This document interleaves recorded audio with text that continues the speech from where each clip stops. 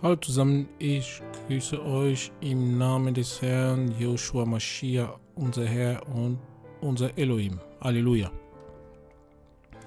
Willkommen zu unserer Sendung Die Stunde der Wahrheit. In der Stunde der Wahrheit geht es um Joshua Mashiach, unser Herr und unser Elohim. Halleluja. Joshua, ich preise deinen Namen. Danke für diesen Moment. Amen. So, ich grüße euch nochmal. Ich möchte uns also alle heute im Namen des Herrn ermutigen, unser Herr Joshua Mashiach zu folgen. Halleluja. Wir sagen zurück zum Wort, zurück zu Joshua Mashiach. Zurück zum Wort bedeutet einfach zurück zum Evangelium. Halleluja. So, ähm, ihr wisst schon, liebe Geschwister, wie die Situation gerade ist. Wie die Welt, wie diese Welt ist, also dass äh, alles runtergeht, dass das Leben sich nicht wirklich also verbessert. Die Menschen werden immer ärmer und ärmer, das Leben wird immer teurer, teurer. Die Gemeinde, die Christen entfernen sich also von, von, von Wort des Herrn. Und darum sagen wir zurück zum Wort. Halleluja. Gut, ähm, ich mache diese Lehre, weil ich, äh, also, ähm, ich habe mich also an ein Gespräch also mit äh, ein paar Leuten erinnert, wo einfach ähm, Leute haben mich also Fragen gestellt, sowas wie, ja, äh, warum bist du, äh, was, was macht ihr, äh, welche Art von Christen seid ihr und so weiter. Und in dem Gespräch hatte ich einfach gesagt, also und das sage ich also immer wieder wieder an Leute, wenn, wenn diese Frage gestellt wird. Ich bin ein Christ.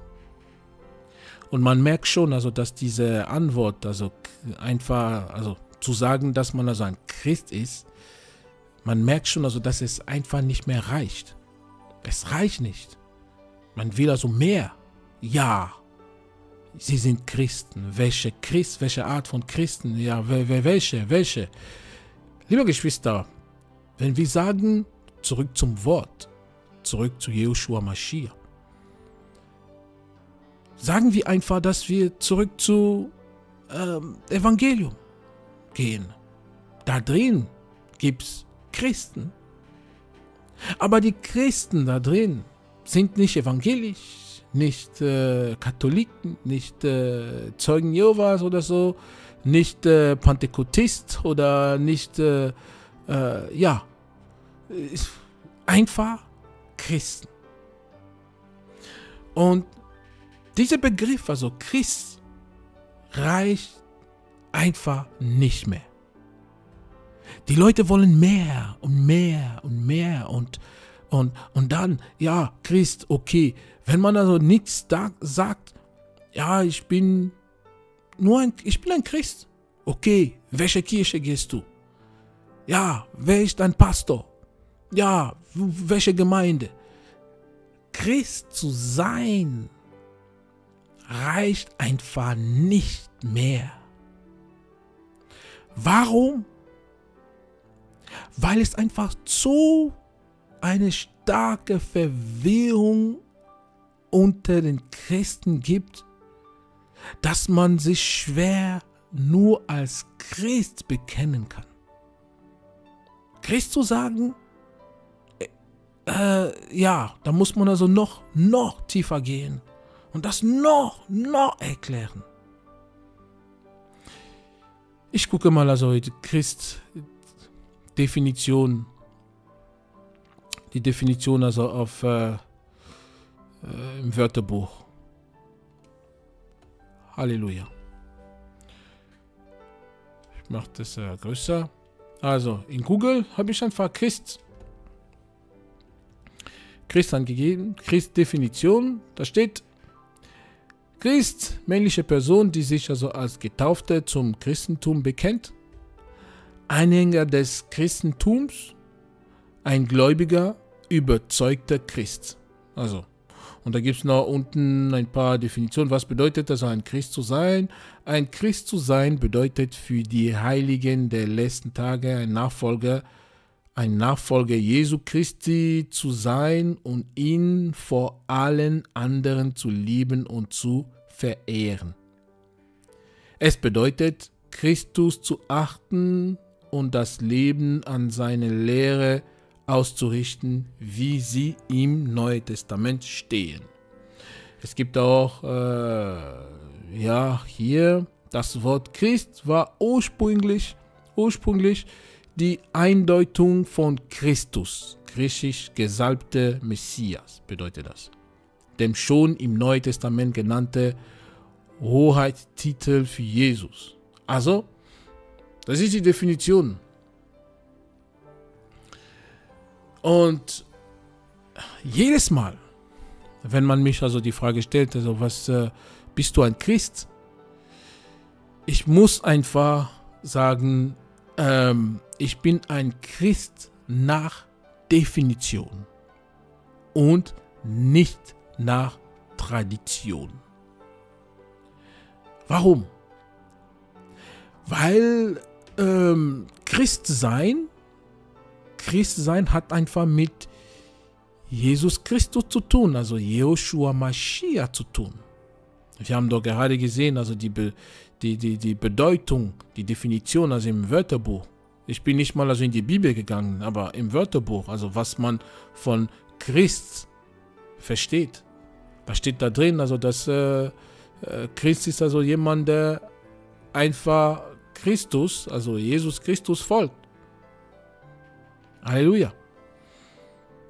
Also das heißt, Joshua Mashiach, Jesus Christus, ist die zentrale Figur, die zentrale Figur von Christentum. Ohne, ohne Joshua, ohne Jesus gibt es keinen Christen. Halleluja. Aber man trifft also ab und zu mal Leute, die sich also als Christ bekennen, weil sie einfach in einem Ort ähm, oder in eine bestimmte Zone ähm, oder keine Ahnung, in ein bestimmtes Land geboren sind. Und ja, ich bin ein Christ, weil meine Eltern Christ sind. Also unser Land ist immer Christ gewesen. Wir sind alle immer Christ gewesen. Deswegen bin ich auch Christ. Aber bekennen sie diese Leute? Also, und man, und wenn man also irgendwie sagt, okay, was ist überhaupt ihre Beziehung mit Joshua Mashiach, Jesus Christus? Ah ja, wissen Sie, so tief bin ich nicht. Ja, also ich glaube nicht ganz an, an, an, an Jesus und dann kann man das einfach vergessen. Diese Person ist also einfach ein Christ nach seinen Überlieferungen, also seine Traditionen. Aber ein bekennender Christ ist er nicht. Nach der Definition.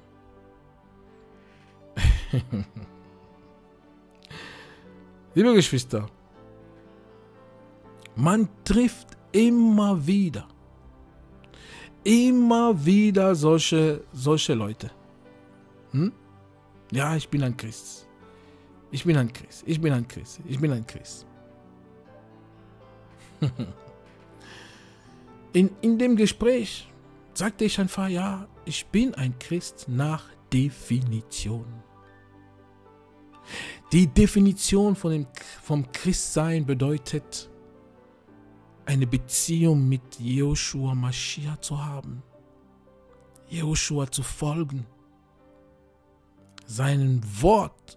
Oder ich bringe das nochmal. Das sind, äh, das ist, ich mache es größer. äh, Wörterbuch, äh, was ist da, was steht da? Ein Christus sein bedeutet für die Heiligen der letzten Tage, okay, der letzten Tage, okay, die Heiligen, ein Nachfolger Jesu Christi zu sein. Nachfolger Jesu Christi. Und ihn vor allen anderen zu lieben. Also das heißt, seine Liebe zu Joshua Mashiach einfach bekennen und zu verehren. Und dann, es bedeutet, Christus zu achten und das Leben an seinen Lehren auszurichten. Halleluja. Also es hat schon mit, mit Joshua zu tun. Wie kann jemand überhaupt sagen, dass ich bin ein Christ und will nichts, gar nichts mit Joshua zu tun haben? Hm? Wie soll das funktionieren? Gehen wir mal also in die Bibel. In der Bibel sieht man also, dass dieser Begriff Christus zum ersten Mal oder mich, äh, äh, ja genau, Christ sein zum ersten Mal in, in der Apostelgeschichte aufgetaucht ist. Halleluja. Apostelgeschichte Kapitel 11, Vers 26.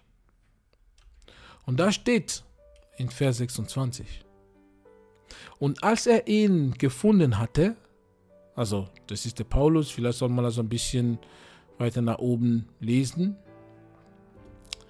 Halleluja. Also, Vers 20. ähm,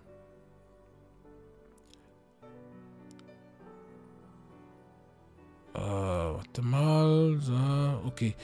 Vers 23, dieser freute sich, als er hingekommen war und die Gnade Elohims sah. Und er, und er ermahnte alle mit Herzen Entschluss beim Herrn zu verharren.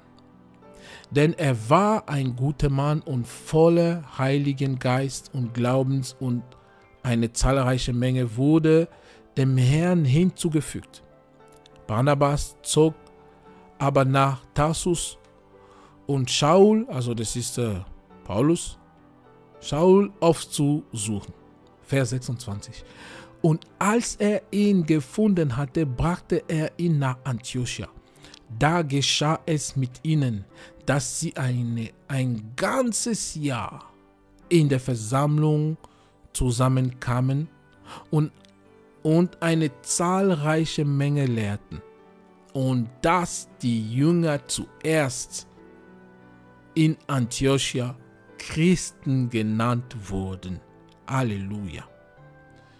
Dieser Begriff ist also zum ersten Mal in Antiochia entstanden. Weil die Leute, die Menschen, also die, die Leute dort hatten gesehen, wie die Jünger gelebt hatten. Die Jünger von Joshua Mashiach. Und dann haben sie gesagt, ja, das sind Christen. Das sind Nachfolger Christen. Die leben nach der Lehre von Christen, von, von Mashiach, Joshua. Die folgen dieser Joshua, Jesus Christus. Und deswegen wurden sie Christen genannt. Halleluja.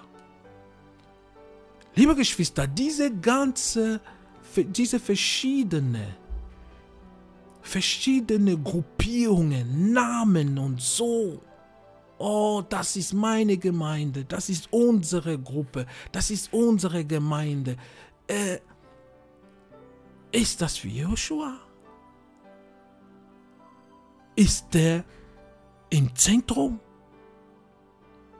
Die Leute sagen, ja, ja, wir sind also, wir, wir bekennen uns also für Joshua Mashiach, für Jesus Christus. Ja, wir folgen ihm. Aber habt ihr gesehen, wie viele Traditionen, also die diese Leute beherrschen? Viele sagen in, in viele Gemeinden, nein, bei uns die Baptisten machen wir so, bei uns die Katholiken machen wir so und bei uns die Pentekotisten, nee, wir funktionieren so und bei uns, bei uns, bei uns, bei uns. Wie ist das überhaupt bei Jehoshua Mashiach. Darum sagen wir die Leute zurück zum Wort. Zurück zu Jehoshua. Jehoshua hat keine, äh, äh, es geht nur, es geht nicht um irgendwelche Vereine zu, also aufzubauen, äh, äh irgendwelche Gruppierungen, Gruppen von Leuten, die sich also äh, ähm, so bekennen und wollen nicht also mit, äh, mit so, so und so zu tun haben. Joshua, habt ihr überhaupt das Leben von dem Herrn studiert? Habt ihr das Wort gelesen? Wie er war? Er ist zu den Menschen gegangen. Er sagte, er sagt einfach, äh, das Reich des Herrn ist in, in, in eurer Mitte. Die Rettung ist so nahe gekommen. Du lebst in der Sünde und der Retter ist gekommen. Er sagt nicht, geh in diese Gruppe, geh in diese Kirche.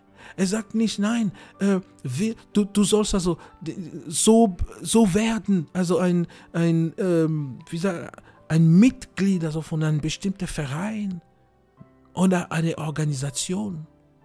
Das ist nicht das Ziel. Joshua will die Menschen retten.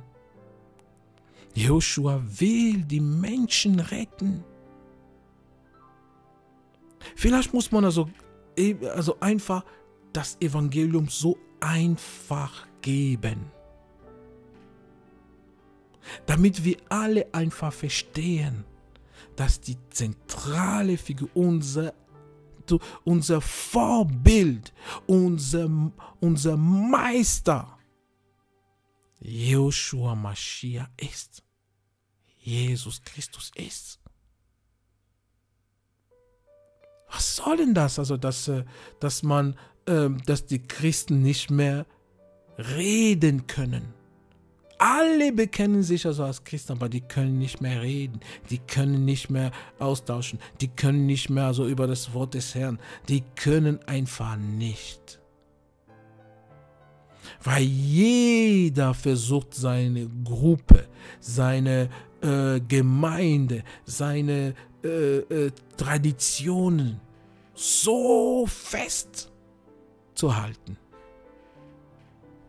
Joshua sagte, wenn ich mich da, also in, äh, in Matthäus, Matthäus Kapitel, Halleluja, Matthäus Kapitel 15, lesen wir mal das. In Matthäus Kapitel 15, ab Vers 1. Daraufhin kommen Schriftgelehrte und Pharisäer von Jerusalem zu Joshua und sagen, Warum übertreten deine Jünger die Tradition der Ältesten? Denn sie waschen sich ihre Hände nicht, wenn sie Brot essen. Also für sie das Wichtigste. Es war so wichtig, die Traditionen der Ältesten zu folgen. Und so sind da so viele von unseren Gemeinden, viele von sogenannten Christen in diese, äh, in, in, in, in diese Art von Traditionen reingefallen. Vers 3. Er aber antwortete und sprach zu ihnen. Und ihr, warum übertretet ihr Elohims Gebot aufgrund eurer Tradition? Könnt ihr euch vorstellen, liebe Geschwister? Viele sogenannte Christen legen so viel Wert auf ihre Traditionen, auf ihre Gemeinde, ihre eigene Gruppe, ihre Vereine, ihre, äh, keine Ahnung, Versammlungen. Aber übertreten Elohims Gebot. Die übertreten Elohims Gebot aufgrund ihrer Tradition. Vers 4. Denn Elohim hat befohlen und gesagt, ehre den Vater und die Mutter und wer Vater oder Mutter flucht, soll durch Tod umkommen. Aber was haben sie gemacht? Die haben diese Vers komplett umgebaut, komplett umgestellt. Habt ihr gesehen, also wie es gibt also äh, bestimmte Christen, sogenannte Christen dürfen nicht heiraten? Die dürfen nicht heiraten, das ist eine Tradition. Wenn sie Priester werden, dann dürfen sie nicht heiraten. Kein Wunder, dass man also Skandalen überall und sowas hören. Wer hat das gesagt? Das ist Tradition dort. Kein Wunder. Joshua ruft alle Menschen zu sich, ihm zu folgen. Und darum sagen wir heute zurück zum Wort.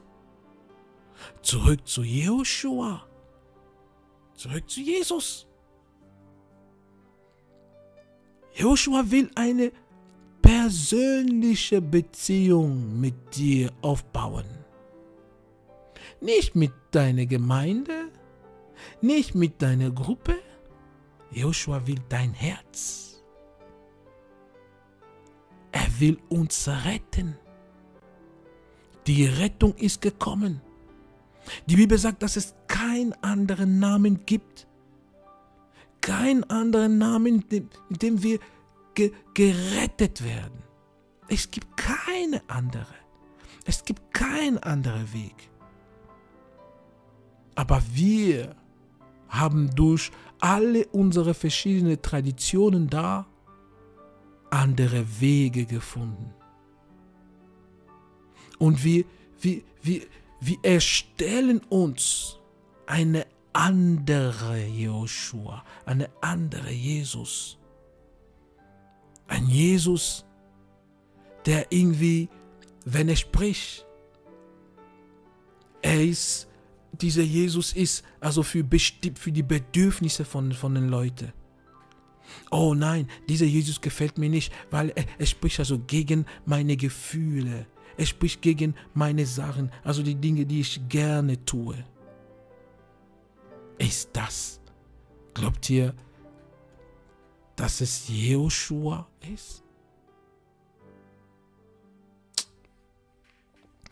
Die Bibel sagt also, dass wir, das ist also eine, eine, wie sagt man das also, eine harte Zeit kommen wird,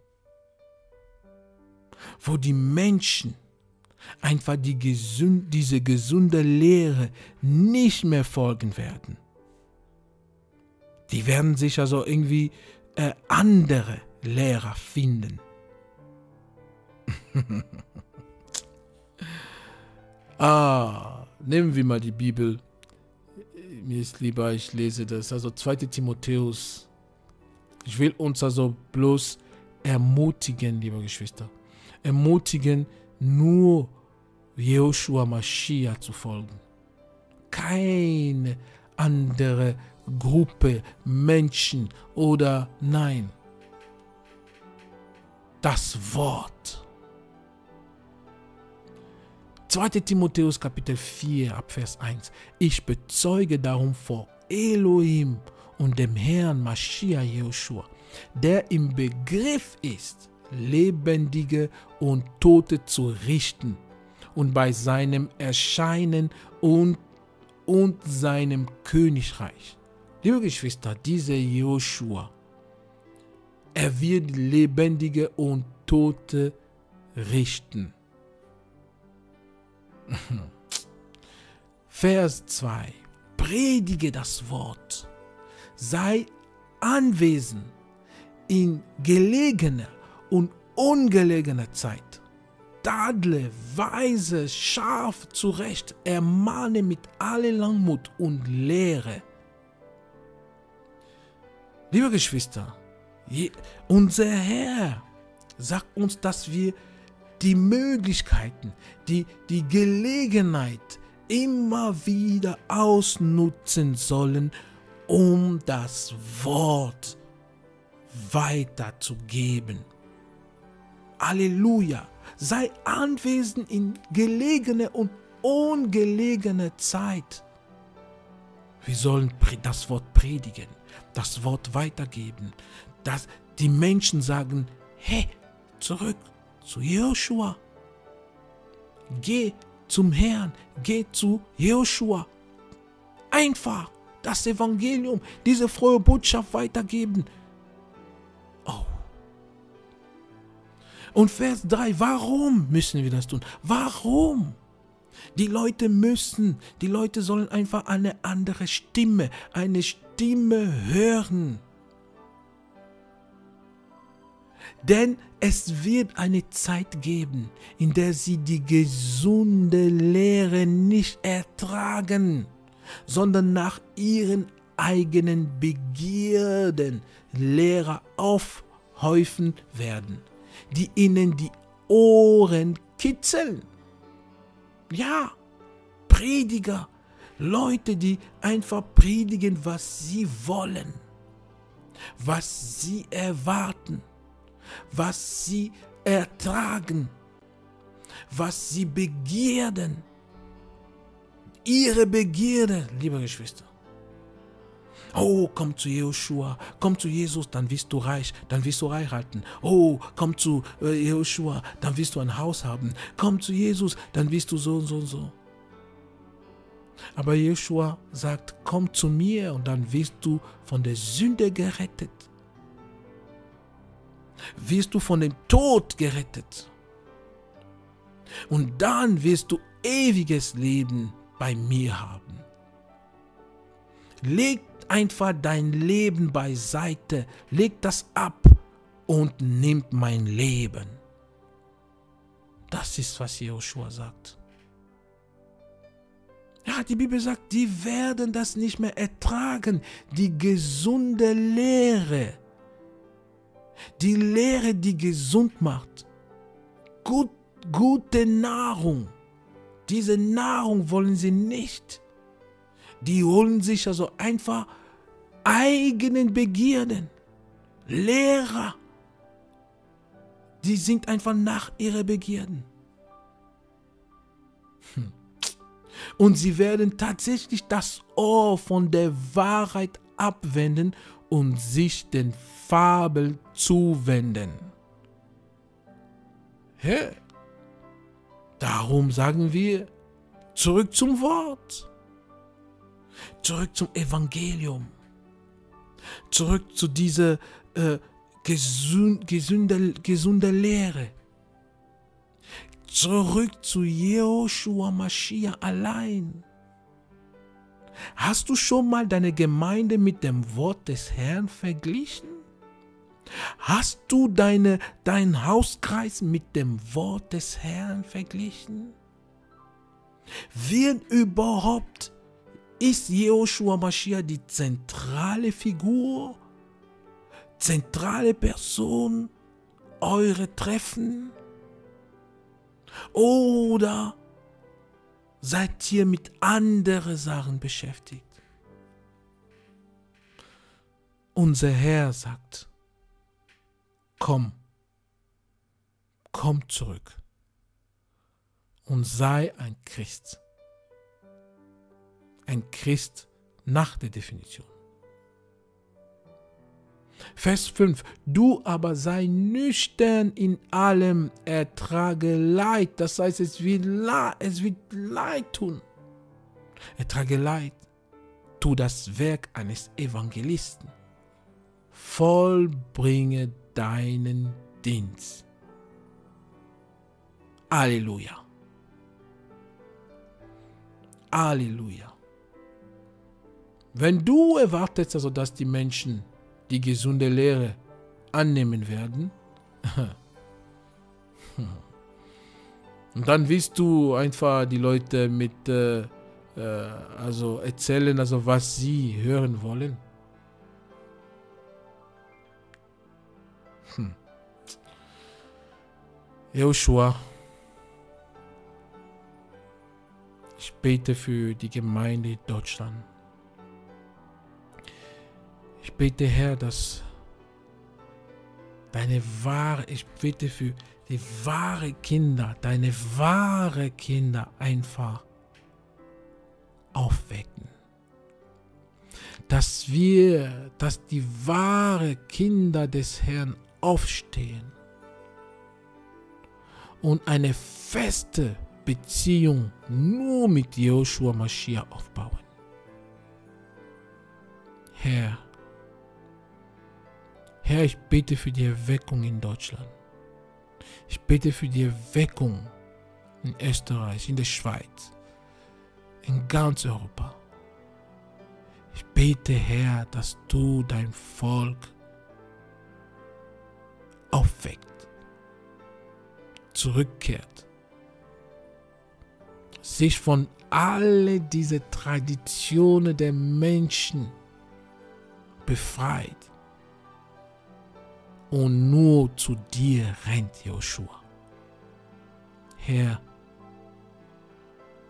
komm und rette deine Gemeinde. Im Namen Joshua Mashiach. Ich danke dir, Joshua, für alles, was du tust. Halleluja. Danke, Herr. Amen.